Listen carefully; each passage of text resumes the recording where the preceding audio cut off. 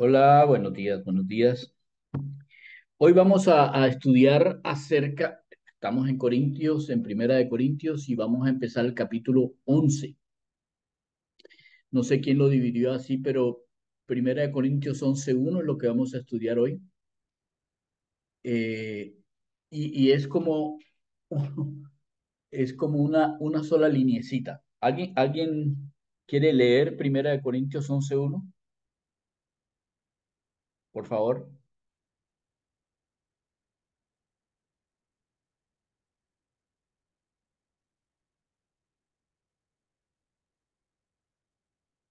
Alguien, por favor, que lea Primera de Corintios 11.1. Ok, lo leo yo. Tengo. Yo, Ah, Ok. ¿Quién lo lee? sed, yo, Da, sed imitadores de mí, así como yo de Cristo. difícil, ¿cierto? Sed imitadores de mí como yo soy imitador de, de Cristo. La palabra que aparece de imitar es la palabra mimo. Lo mismo, el- esa raíz es la raíz griega de varias palabras como mimetismo. ¿Recuerdan qué es mimetismo? Cuando el, um, el pulpo se hace parecido a, una roca, como cuando el camaleón, los verdes cambian y se coloca de acuerdo con el follaje, como las lechuzas que se pegan contra los árboles porque su pelaje es como el de los tallos de los árboles. Exactamente la palabra mimetismo, o como el señor o el niño que está ahí, que tiene, que se pone una se pinta la cara de blanco y, e imita a otro. Esa es la palabra que aparece ahí. Imítenme a mí, dice Pablo, como yo imito al Señor Jesús. Ahora, eso está porque viene del versículo anterior. Voy a leer el 32 y el 33 del, del capítulo 10. No sean tropiezo ni a los judíos ni a los gentiles y mucho menos a la iglesia de Dios como también yo en todas las cosas trato de agradar a todos, no, escuchen, esta es la parte que hay que imitar, no procurando mi propio beneficio, sino el de muchos para que sean salvos.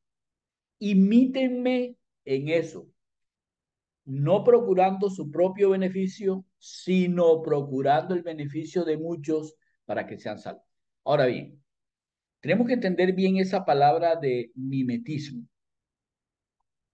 Vamos a entenderla un poquito con, con lo que dice la palabra en Filipenses capítulo 3, pero antes quiero mostrarles,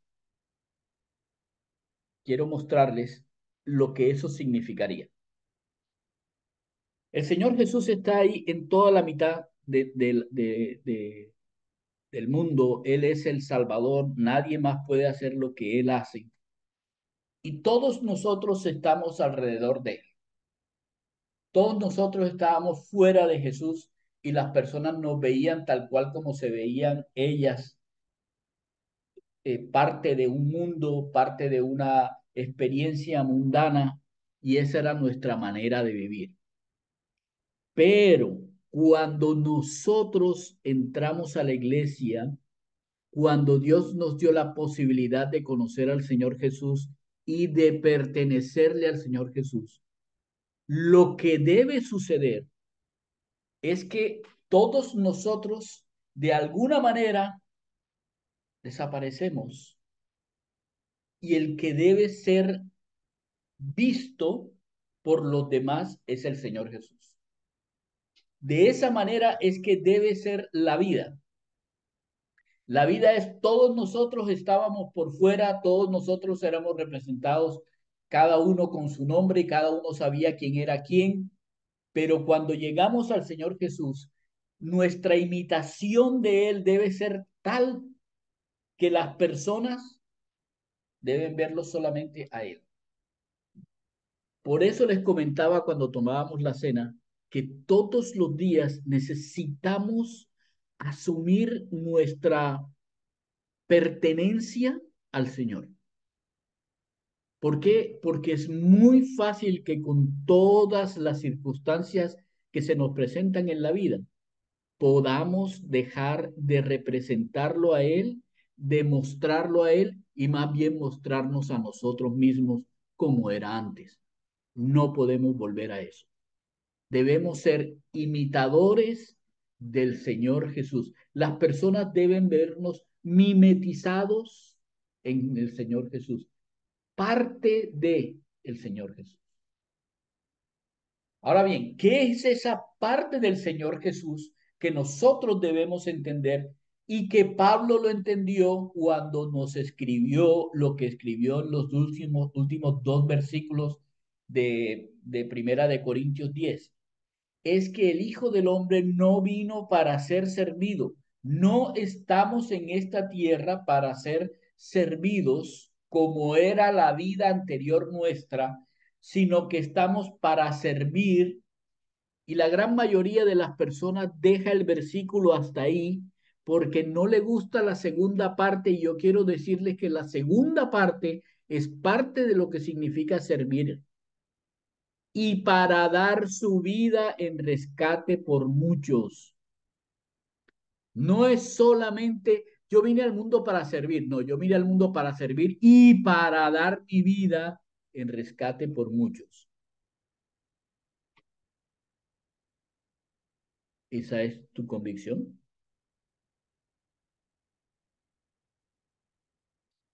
Porque si vamos a imitarlo a Él, se requiere que nosotros asumamos esa responsabilidad.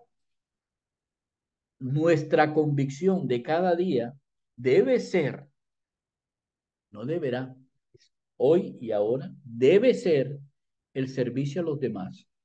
Y si es necesario, hay que sacrificar las cosas que tenemos en esta tierra, todo lo que nosotros creemos que es importante en esta tierra, todo lo que nosotros entendemos que es ganancia en esta tierra, debemos sacrificarlo por amor a nuestro prójimo y para que ellos puedan hacer lo que nosotros se nos ha concedido hacer por el poder de Dios, por el poder del Espíritu Santo. Así que para mirar bien esto, esta, esta frase, sed imitadores de mí como yo lo soy de Cristo, vamos a ir a Filipenses capítulo 3. Y vamos a entender lo que significa eso de imitar a Pablo.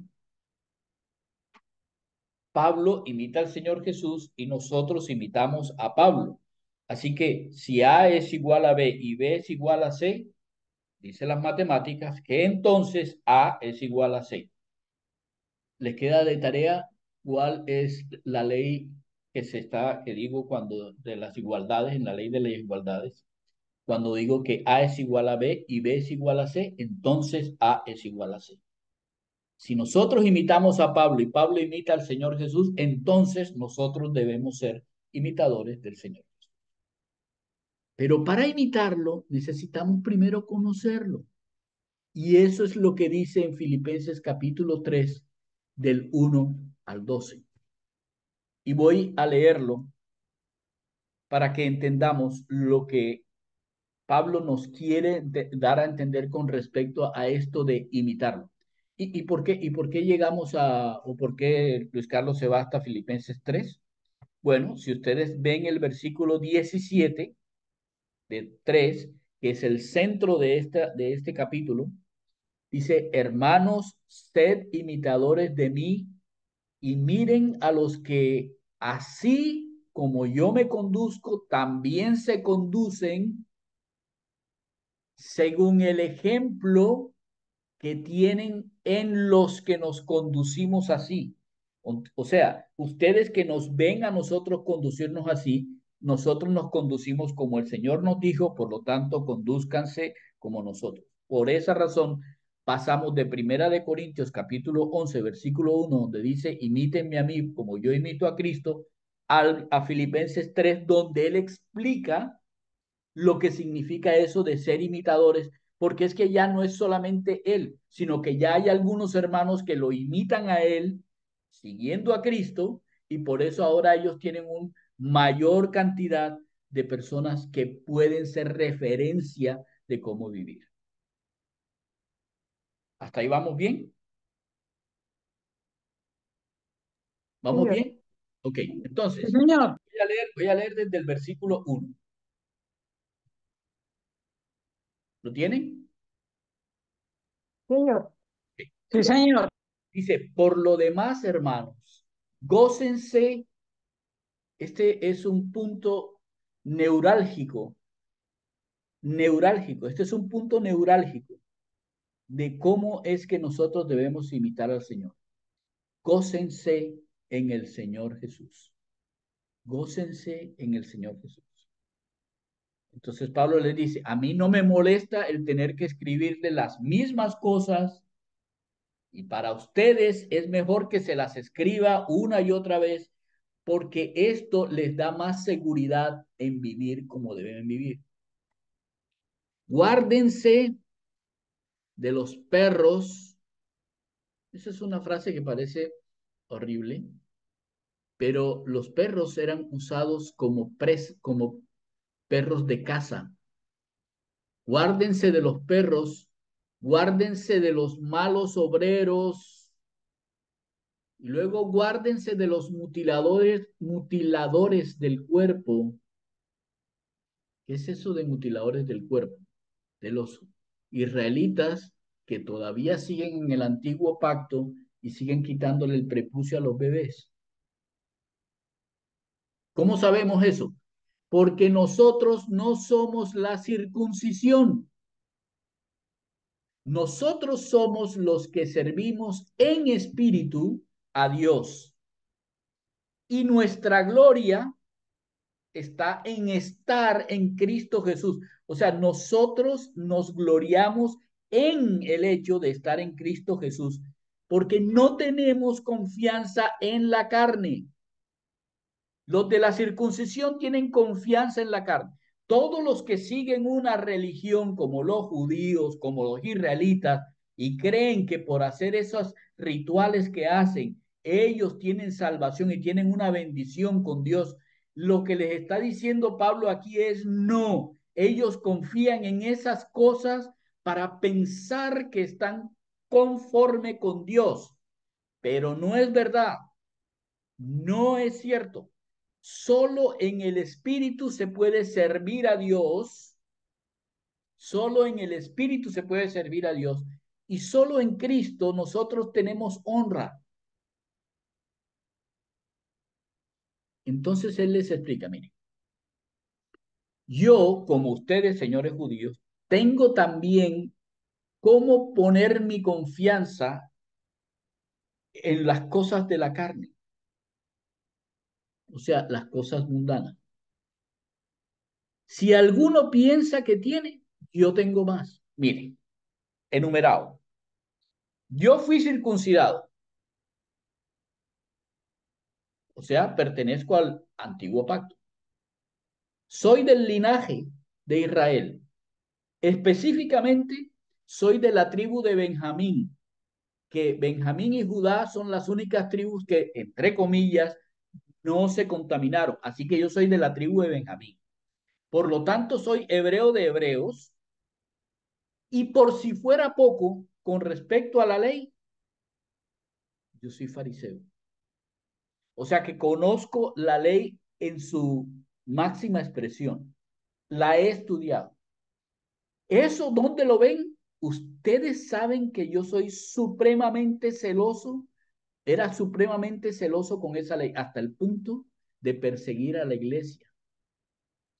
Y en cuanto a la justicia que propuse y puse, era conforme a la ley y nadie puede decir que yo no aplicaba la justicia conforme a la ley, porque todos han visto mi ejemplo. Pero cuántas cosas eran para mí eso ganancia, que me hacían sentir que era alguien, pues las he estimado como pérdida por Cristo. Y aún estimo todas las cosas que ahora tengo, las que tenía, que ya se las enumeré, pero las que ahora tengo, también las estimo como pérdida, solo por llegar un poco más allá, por tener una excelencia mayor en conocer al Señor Jesús. En conocer al Señor Jesús. en conocer que Jesús es mi Señor. El hecho de que Él sea mi Señor implica que yo soy su siervo y entiendo que Él se ocupa. Así que yo lo he perdido todo y no solamente porque me lo hicieron perder, es que lo tengo por basura con tal de ganar a Cristo, al Mesías, al ungido como mi Señor, para que yo sea hallado en él, para que yo, para que puedan verme en él, porque no puedo tener mi propia justicia, una justicia que es por la ley, esa justicia delante de Dios no sirve, sino la justicia que es la fe en el Mesías en el Cristo. La justicia que viene de Dios y que es por fe. Cuando yo tengo esa justicia que es de parte de Dios, yo entonces tengo la posibilidad de conocerle y, conocer el poder que lo resucitó de entre los muertos. Escúchenme bien, para un judío o para cualquier otra persona, no hay un poder más grande no hay un poder más grande que el de la resurrección. Porque nadie puede traer un muerto a la vida a menos que sea la vida misma. Y eso es el Señor Jesús. Entonces, yo quiero conocerlo y también el poder que Él tiene para resucitar a los muertos, aunque en este momento yo tenga que participar de sus padecimientos y me haga semejante a Él en el morir. Porque aunque yo muera, estoy seguro que en alguna manera voy a llegar a la resurrección de los muertos. Que obviamente los que estaban leyendo se dan cuenta que eso fue una versión libre ¿cierto? De lo que dice la escritura, ¿cierto? Para ponerlo en términos nuestros.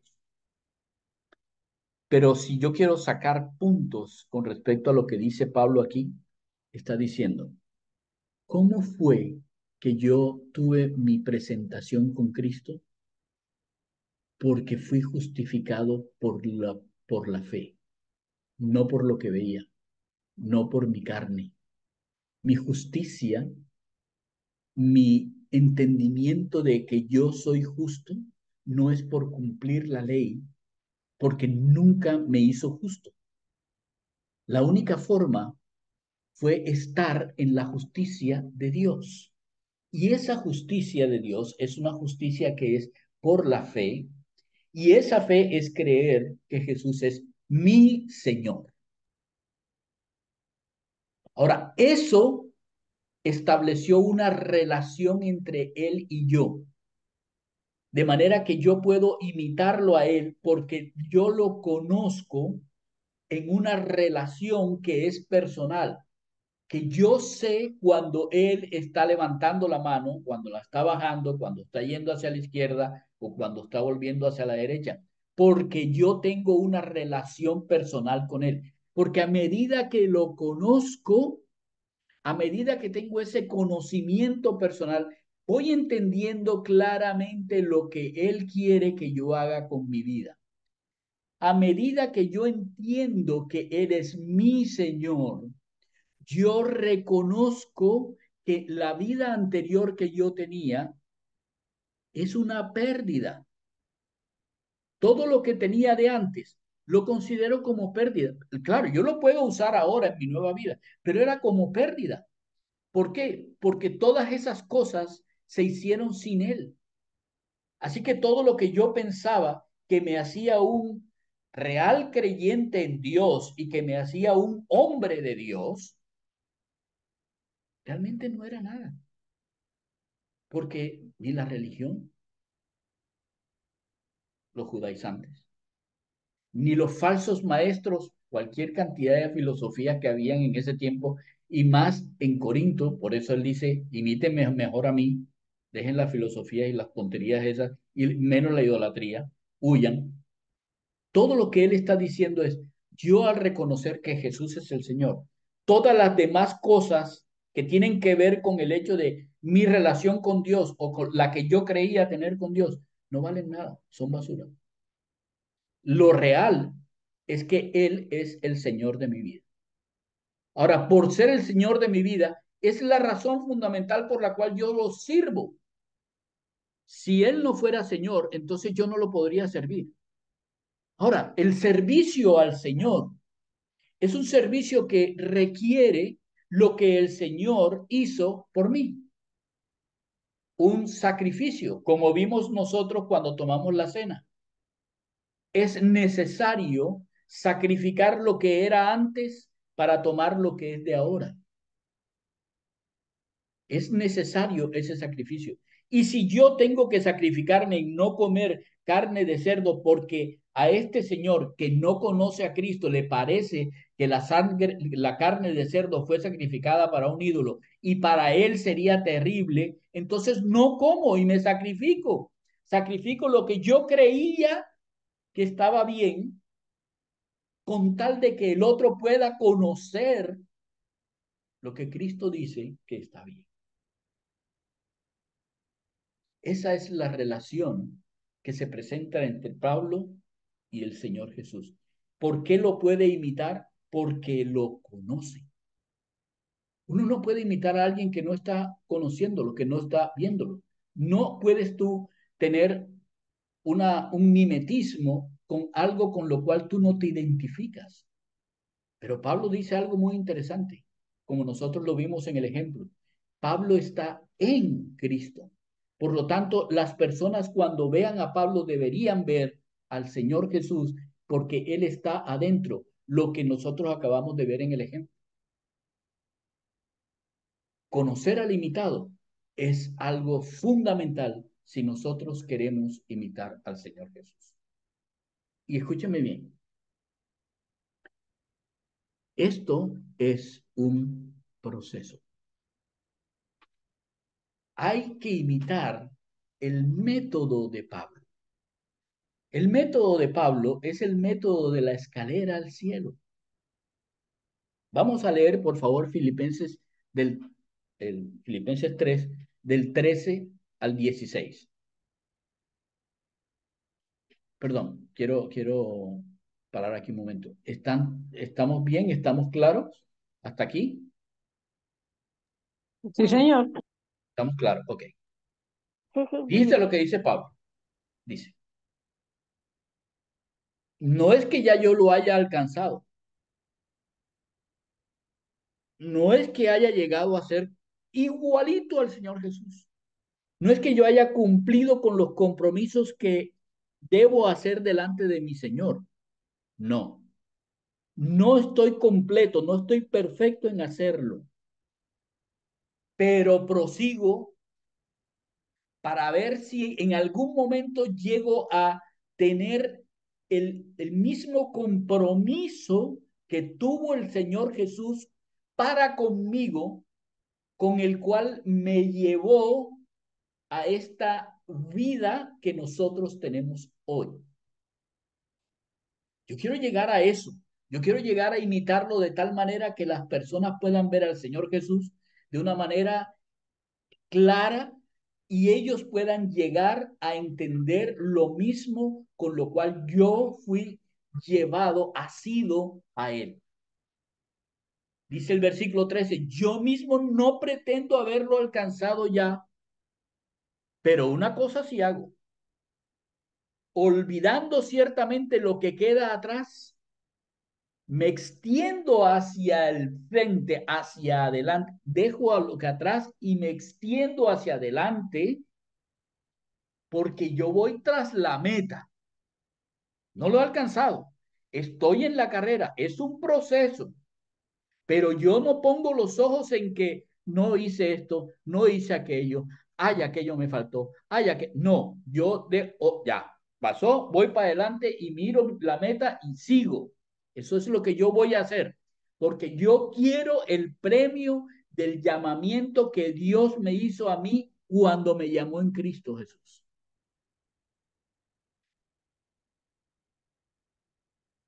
El llamamiento máximo de Dios. ¿Cuál es el llamamiento máximo de Dios? Cree en el Señor Jesús y serás salvo. Ese es el mandamiento. No dice, haz esto, haz lo otro, haz aquello, sigue a, fulanito, sigue a tu tatito. No, es cree que Jesús es el Señor y tú serás salvo. Ahora, tu llamamiento, tu compromiso, tu responsabilidad está en tu prójimo, porque el llamamiento es a servir y si es necesario sacrificar lo que yo considero importante para mi vida, de manera que otros también puedan conocer a Jesús y puedan llegar a ser llamados por Dios. Les digo, no existe absolutamente nada, nada en esta tierra que sea tan increíble como esta misión de Dios para nosotros. Ahora bien, así que todos los que somos perfectos, pero ¿cómo así si ya ha dicho que no es que sea perfecto? No es que aquí estamos hablando de alguien más, estamos hablando del llamamiento de Dios. Todos los que somos perfectos que ya Dios nos ve perfectos porque nos ve, como dice ahí, en Cristo Jesús. Ahora sí, cuando Dios nos ve, nos ve en Cristo Jesús. Ahora ya no está ni, ni la tocaya, ni está Clau, ni está Marta, ni no, ahora están, lo único que Dios ve en nosotros es al Señor Jesús. Todos los que somos perfectos debemos sentir esto del hecho de que ya Dios concluyó con nosotros la obra, la obra en nosotros ya fue, fuimos asidos, fuimos colocados dentro de en Cristo Jesús. Ahora, ¿qué va a pasar? Si tú sientes otra cosa, no, yo todavía no me siento así, es que yo todavía no conozco tanto, es que yo apenas estoy empezando, es que yo, es que yo, es que yo, ok. Nadie esos falsos maestros, falsos judaizantes, falsas religiones, no tienen por qué convencerte de absolutamente nada. Es Dios mismo el que tiene que convencerte en qué puesto, en qué posición Él, no tú, te considera, sino Él te considera a ti. Pero, pero, en aquella, aquella cosa que hemos avanzado, en, a donde hemos llegado, debemos seguir una misma regla. Debemos sentir una misma cosa. Llegamos. ¿Por qué el método de la escalera? Lo que Dios dice es, yo subo un peldaño y nunca me bajo de ese peldaño. Procuro trabajar para subir otro peldaño y no me pongo a mirar atrás al peldaño que ya pasé. Lo que miro es el siguiente peldaño. Y así sucesivamente hasta llegar a ser como el Señor Jesús. La otra perfección que es la que yo puedo mirar como el Señor Jesús en la tierra. ¿Cuánto es eso? en el sacrificio del Señor, los padecimientos que dice, porque yo sé que todo lo que yo padezca o sacrifique de este mundo, en este mundo se queda, es de este mundo, no me lo voy a llevar para ningún lado, eso se queda aquí y no tiene, por, no tengo por qué asirme a eso cuando yo estoy ya en el que es el todo en todos. Así que el método es, tú caminas y caminas por fe. Y caminas con convicción de lo que estás haciendo. Ay, me equivoqué. Déjalo atrás. Te equivocaste, déjalo atrás. No lo traigas al presente. No te quedes en que cometí un error. No. Es cometiste un error. Ok, no lo cometas ahora la siguiente vez. No regreses. Ya tienes el sentir de Dios. Ya sabes que Dios a ti te considera perfecto. Ahora es necesario que camines, que hagas el proceso de santificarte, de consagrarte a Dios de una manera tal en la que cada cosa que tú vivas sea una mirada con la meta al frente. Deja de poner los ojos atrás. No se puede arar si pones los ojos atrás. Necesitamos colocar la mirada siempre en la meta. Siempre en la meta. Nunca caminamos hacia atrás. Es más, siempre caminamos adelante. El Hijo de Dios, el que le pertenece al Señor Jesús, hace como el Señor, imita a su Señor. No importan los palos, no importan las piedras, no importan las varas, no importan los escupos, no importan las cachetadas, no importan las coronas de espina, no importa, nada de eso importa. Lo que importa es la meta, no detenerse. No me quedo en lo que me hacen, no me quedo en lo que era, no me quedo con mis ganancias, no me quedo con lo que yo pensaba que era. No, nosotros caminamos es hacia la meta. ¿Quién es ese a quien debemos imitar? Es el Señor Jesús. No es cualquiera, es el Señor Jesús. A ese. Y con ese método es con que el método de Pablo es con el que debemos llegar a ser como el Señor Jesús. ¿Hasta cuándo? Hasta que el Señor venga por nosotros. Hasta cuando Él considere que hemos avanzado lo suficiente en la escalera y llegamos al escalón en el que nos reunimos con Él.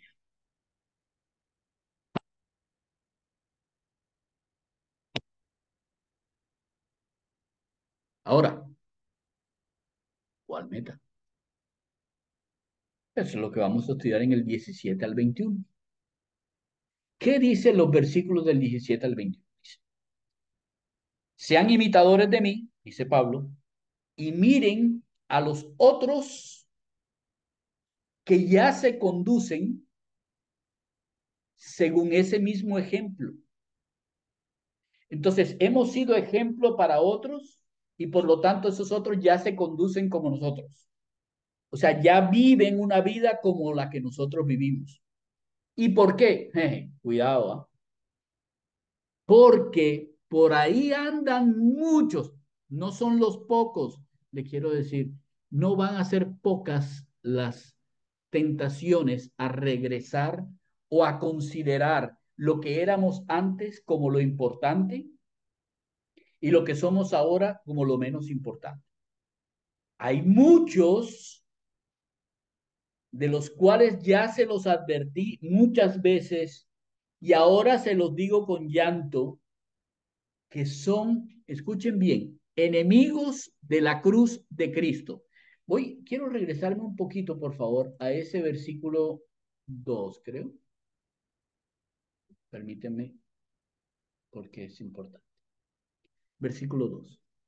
Guárdense de los perros. Cuando habla de estos perros, está hablando de los muchos que odian la cruz, que persiguen, como Pablo persiguió, como un perro de presa a los cristianos al principio. Hay muchos que son como era Pablo, que persiguen, que van, que quieren regresarte a la antigua manera de vivir, a decirte, y no son solamente, eh, ¿cómo se llama? Ah, eh, pastores o sacerdotes o no sé qué, no, no, no, no, no, tus amigos, tu familia, tus vecinos, venga, tranquilo, venga, que, hey, ojo, porque, pero si usted es tal cosa, compañeros míos, pero si tú eras tan inteligente, gracias.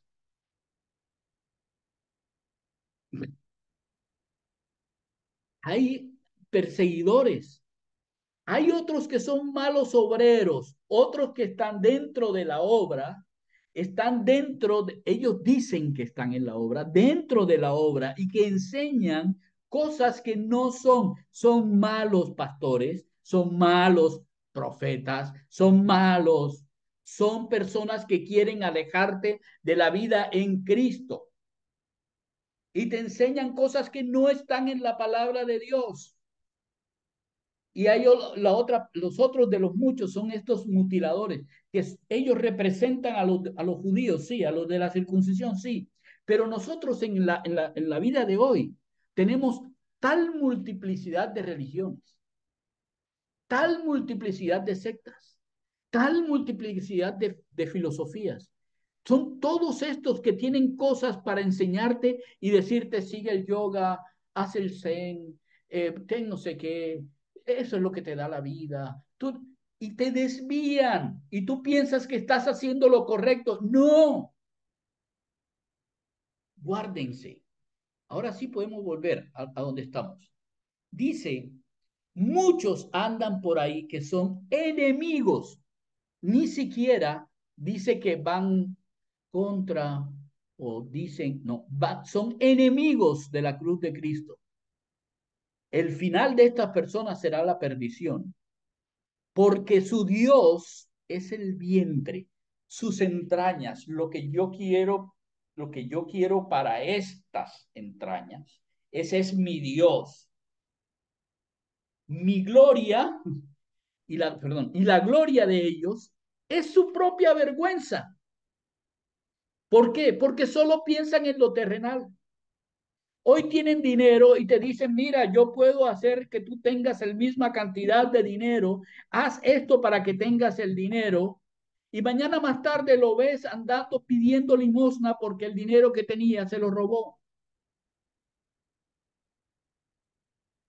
Cuidado. Todos aquellos que consideren como ganancia cualquiera de las cosas efímeras de este mundo, te van a enseñar un camino diferente al camino del Señor Jesús. Te van a enseñar que tú no tienes que sacrificarte por nadie, sino que los demás deben sacrificarse por ti. Te van a enseñar que tú no tienes que servir a los demás, sino que hacer que los otros te sirvan a ti.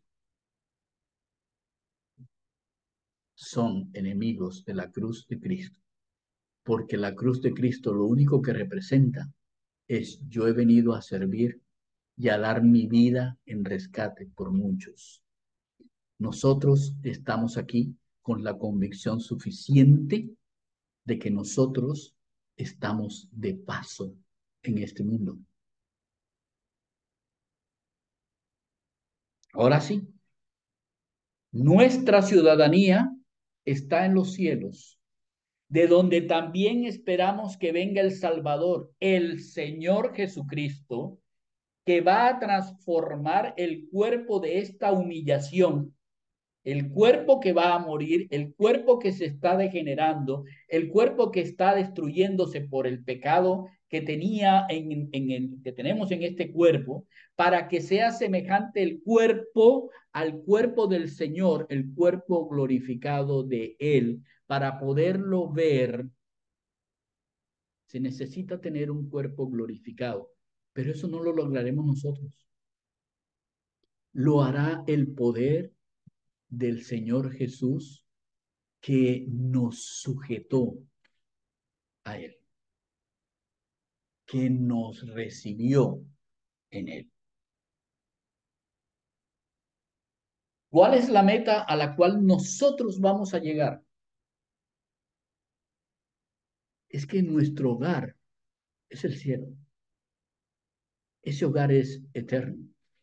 Ese hogar no se mancha, no se corrompe, no se destruye. Está.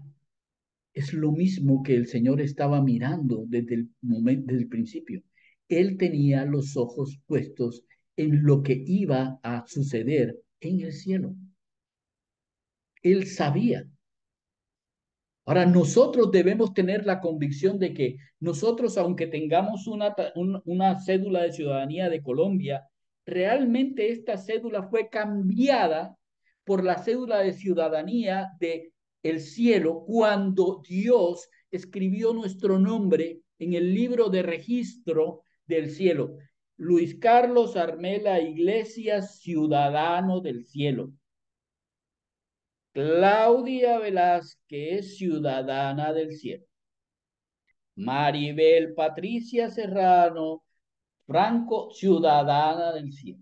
Patricia Guerrero, ciudadana del cielo. Gustavo Teneche, ciudadano del cielo con 46 años que ya cumple ciudad. Estamos inscritos en el libro de la vida. Eso es lo que establece nuestra identidad y nuestra ciudadanía. Entonces no te levantes en el momento del, ¿cómo es eso? Del, del himno de Colombia. Tan tontos. ¿Qué importa? ¿Acaso eso es lo que nos, identifica? Levántese, claro. A mí también me daba, eh, ¿cómo se llama? Este, Claudia, se llama Huki No sé, no sé cómo se llamará, pero ese cosito cuando yo escuchaba el, el himno de Colombia allá en el Perú, claro.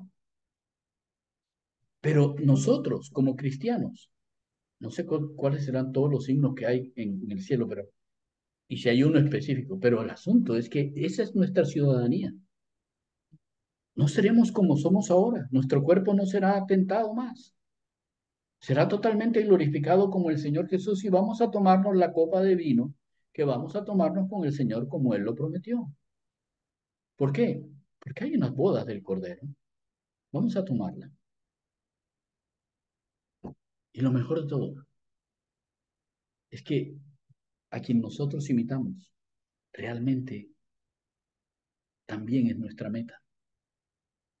Porque al ser el Señor, es Él y solamente Él, el único que merece que nosotros lo imitemos que nos mimeticemos con Él. Esa es la meta del supremo llamamiento. Allá tenemos que ir, es donde tenemos que construir. No es en esta tierra. No necesitamos, necesitamos poner los ojos en nuestra ciudadanía. Por eso, día a día, hay que revisar y volverlo a hacer de dónde estoy yo en esta escalera, de, en este proceso de santificación hacia Cristo, hacia imitarlo más y más a Él. Es interesante si nos pusiéramos a hacer el ejercicio de cómo nos ven las personas a nosotros más como Jesús o más como nosotros. A mí me preocupa cuando dicen, oye, estás igualito. Y en mi mente, obviamente, eh, obviamente que las personas cuando no nos vemos hace mucho tiempo miran el físico. Pero cuando he hablado durante un buen tiempo con las personas, yo espero que las personas puedan notar que el Señor Jesús va teniendo cada vez más una porción de mi existencia en esta tierra. Y es el reto que les dejo a todos. Cuando nos levantemos, pensemos, ¿cuánto me estoy pareciendo al Señor? ¿Cuánto es que mi vida está al servicio de mi prójimo? ¿Cuánto he sacrificado con tal de que los demás puedan vivir para Cristo?